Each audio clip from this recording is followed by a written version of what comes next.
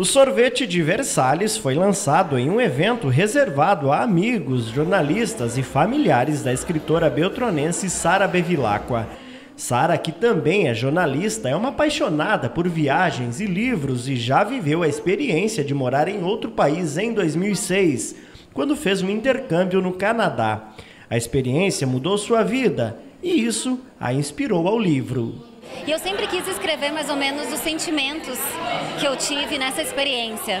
Então eu resolvi escrever uma ficção, é um romance, sobre uma personagem que vai fazer intercâmbio também.